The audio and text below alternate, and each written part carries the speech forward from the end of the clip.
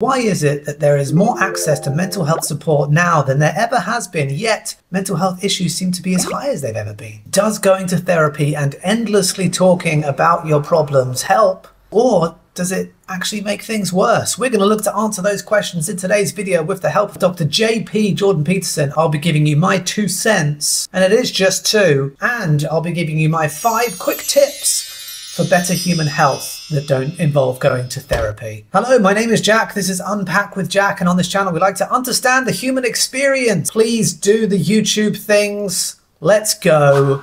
Self referential statements of all kinds load with neuroticism. Okay, this is an unbelievably important discovery. They load so completely that the personality test used for assessing neuroticism, the, the most common one, the NEO-PIR, has self-consciousness as a subset of neuroticism. So that means there's no difference between being self-conscious and being depressed and anxious. They're, they're not linked. They're the same thing. So now you go to therapy, okay? And the half-wit therapist does nothing but make you self-conscious. I think ethically, therapists should have to disclose whether or not they are in fact a half-wit. So Jordan Peterson's talking about how they found this link between neuroticism, anxiety, depression and self-consciousness and how if you are a certain type of person prone to neuroticism and self-consciousness then going to therapy and endlessly talking about your problems is not going to help apparently according to science. You know our whole notion of mental health is actually it's it's corrupt.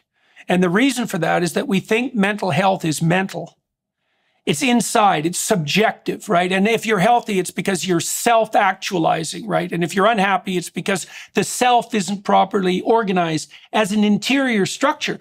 But the problem with that is it's just, it's actually not true. What human well being is, is proper situation in a hierarchy that includes the social environment.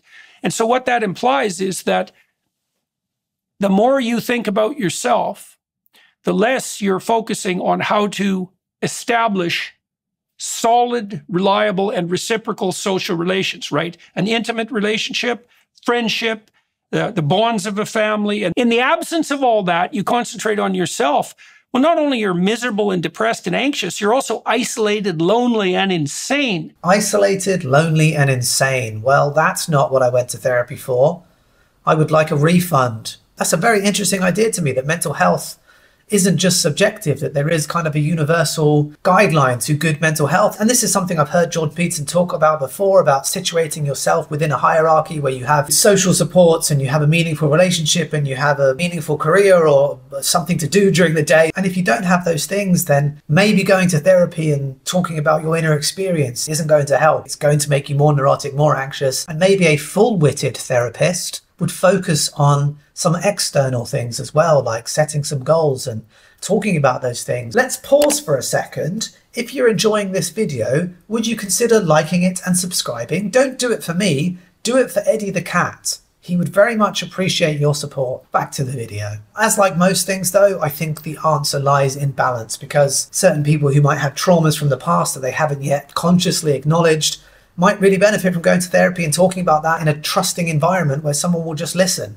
On the other hand, people may need to do the exact opposite and they need to get out of their own heads and they need to go into the world and do stuff. So that brings us neatly on to my five tips for a better human experience that don't involve going to therapy. And number one is exercise. This is so obvious, I know, but it really does help. You never don't feel good after you've exercised unless you pull a hamstring, in which case yeah, you probably shouldn't have exercised. Number two, just do a little bit of research into processed food. Eating food that doesn't have a load of stuff in it that you can't pronounce really makes a big difference to everything. Number three, social supports. Do you have any friends? Do you have a significant relationship? And what are the barriers to those things? In times when I've got very isolated, it's really affected my mental health and it isn't really anything that's going on internally. It's just that we're social creatures and we need to be out in the world connecting with people. And when that gets taken away as it did during the fucking pandemic for everybody by the way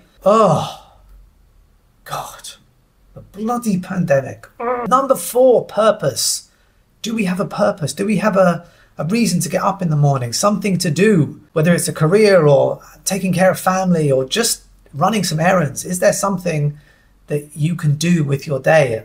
A lot of people don't have that, and it can really be damaging to one's mental health. And number five, this one's a bit of fun, and it is to have fun. It's really easy to forget that. I know life can be a drag sometimes, and we've all got stuff that we need to deal with that isn't fun. Go and go and do a dance. Go and I mean I don't know. You know you know what I mean. Allow yourself to have some fun. Things don't need to be as serious as they are. Well, that's my hot take, but what do you think? What do you think about therapy? Is it helpful? Is it not? Does it make things worse? Can you share your experience of therapy? Thank you very much for watching. I want to unpack that with Jack. I'll be right back. When you drink some water, remember.